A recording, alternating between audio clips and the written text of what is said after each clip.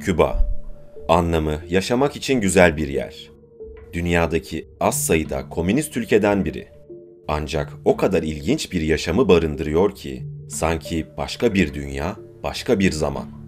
Küba'da neler olmadığını merak ediyorsanız önce oradan başlayalım. İşsizlik yok. Herkes eğitim alırken yeteneğine göre yönlendiriliyor ve insanların maaşları arasında yüzde üçten fazla fark yok. Yani bir milletvekili ve garson eşit seviyede maaş alıyor. Çocuğum ne olacak derdi yok. İnsanın çocuğu için endişelenmemesinden daha büyük bir zenginlik yoktur herhalde. Kadınlar hamileyken spor, sağlık ve çocuk yetiştirme eğitimi almak zorunda. Doğan çocuk devletin sayıldığı için her türlü eğitim eşit ve tamamen ücretsiz. Sokakta yatan evsiz yok. Dünyanın en gelişmiş ülkesi olan Amerika'da 4 milyon evsiz sokakta yaşıyor. Ama Küba'da evi olmayan, devlet tarafından konaklaması ücretsiz karşılanmayan kimse yok. Ter kokan insanlar yok. Sabun, şampuan, deodorant, parfüm, kişisel bakım ürünleri her ay devlet tarafından ücretsiz veriliyor ve hepsi Küba malı. Kazık yemek korkusu yok. Bütün dükkanlar ve işletmeler devlete ait ve çalışan garsonlar, işçiler memur kabul edildiği için maaşlarını devlet ödüyor. Fiyatları da devlet belirlediği için kandırılma şansınız da yok. Ve bütün ürünler Küba vatandaşlarına belli oranda ücretsiz. Limiti aştığınızda ise çok çok ucuza istediklerinizi alabilirsiniz. Para yok. Evet, yanlış duymadınız. En yüksek maaş 30 euro. Ama insanların çoğu bunu bile gereksiz buluyor. Çünkü zaten genel olarak her şey ücretsiz. İsterseniz ülke içinde her yıl seçtiğiniz bir yere devlet sizi ailecek tatile gönderiyor. Dünyadaki bütün ülkelerde zenginlerin girebildiği ve yoksul insanların parasının yetmediği restoranlar, eğlence merkezleri var. Fakat Küba'da her yere girebilirsiniz. Hiçbir ayrımcılık yok.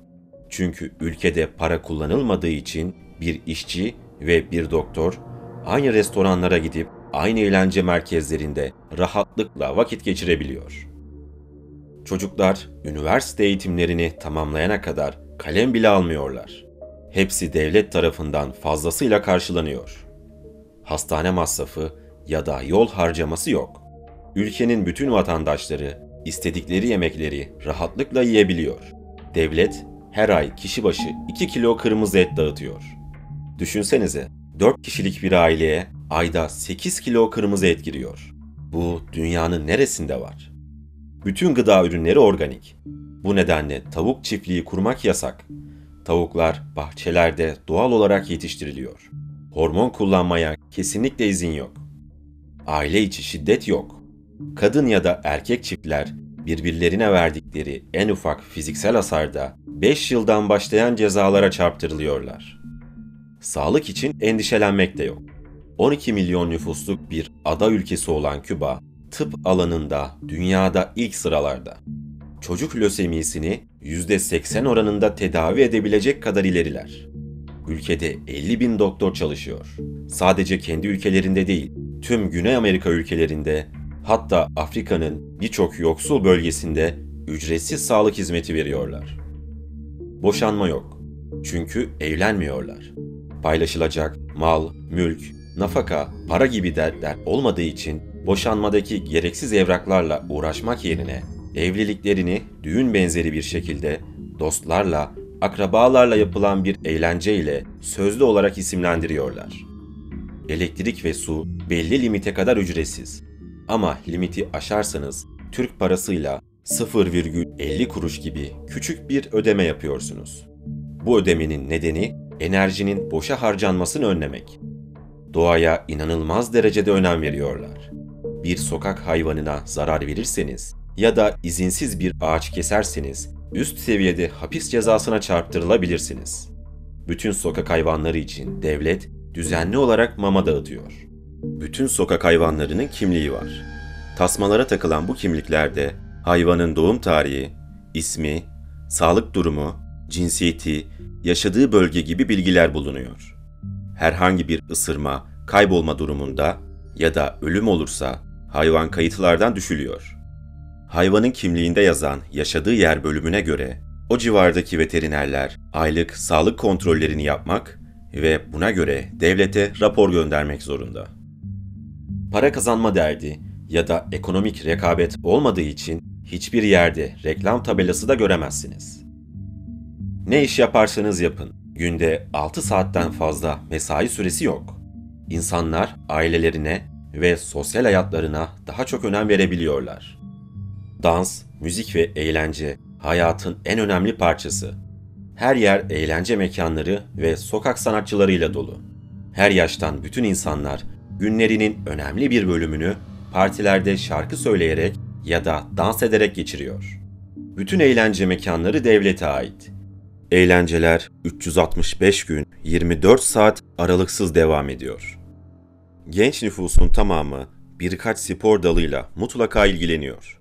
Fakat dövüş sanatları ve binicilik bu sporlar arasında ilk sırada. Küba sokakları rengarenk antika arabalarla dolu. Araba alımı serbest olmasına rağmen insanlar yeni otomobillerden ziyade antika araçları daha çok tercih ediyor. Zaten en yüksek araba fiyatı 100 euro ve aylık 2 euroluk ödeme karşılığında devlet size seçtiğiniz model arabayı veriyor. Küba kapılarını dünyaya açalı henüz birkaç yıl oldu. 1953 yılında Fidel Castro'nun başlattığı ve Ernesto Che Guevara'nın da katıldığı ayaklanma ile uzun süren mücadele sonrasında diktatörlük yıkıldı ve komünist rejim kuruldu. Amerika birkaç yıl öncesine kadar dünyanın en tehlikeli ülkesi olarak Küba'yı gösteriyor ve Küba komünistlerinin nükleer silah sakladığını iddia ediyordu.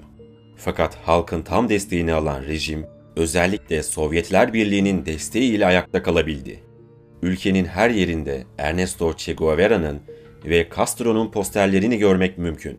Aynı zamanda dünyada emperyalizme karşı mücadele yürütmüş olan bütün liderlere saygı duyuyorlar. Ancak ülkede tek bir yabancı liderin heykeli var. O da Ulu Önder Mustafa Kemal Atatürk. Küba'da Atatürk'ü tanımayan kimse yok. Onlar için özel bir değeri var. Ülkenin suç oranı neredeyse sıfır. 12 milyonluk ülkede her yıl ortalama 2 ya da 3 hırsızlık vakası oluyor. Ve insanları inanılmaz derecede mutlu. Dünyadaki en güzel plajlardan birçoğu orada. Topraklarınsa büyük kısmı devlet tarafından milli park ilan edilmiş ve kesinlikle yaban hayvanlarına dokunmak, onlara zarar vermek yasak. Bu en büyük suçlardan biri olarak kabul ediliyor. Şaşırtıcıdır ki ülkede hiç zehirli bitki yok ve ormanları doğal meyvelerle dolu. Eğer Küba'ya yolunuz düşerse neredeyse bütün yetişkinlerin elinde puro görebilirsiniz. Onlar için puro içmek eski bir gelenek ve sigaradan daha fazla tüketiliyor. Ülkede hiçbir din ayrımı yok. Kimse size dininizi, hangi milletten olduğunuzu ya da ne iş yaptığınızı sorma gereği duymayacaktır. Çünkü bunların Küba'da hiçbir önemi yok. Öyle ki Amerikalı zenci Müslümanların bir dönem lideri olan Malcolm X, Küba lideri Castro'nun yakın dostuydu ve Küba için ikinci vatanım demiştir. Fakat evlerin önemli bir bölümü hala eski. Küba, Amerika'nın yaklaşık 40 yıl uyguladığı ambargo ve uluslararası baskı nedeniyle bütün dünya tarafından dışlanmış olduğu için gelişimini yeni tamamlayabiliyor. Bütün evler, sokaklar, her şey sırayla yenilenme çalışmasına başlamış.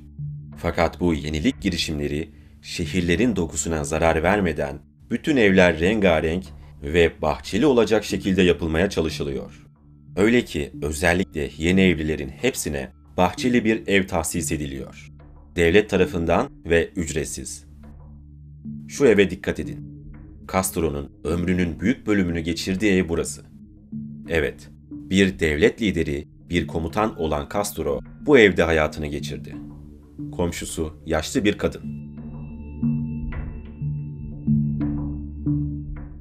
40 yıl boyunca kilise ve Amerika Küba'yı din düşmanı şeytanların ülkesi olarak tanımladılar.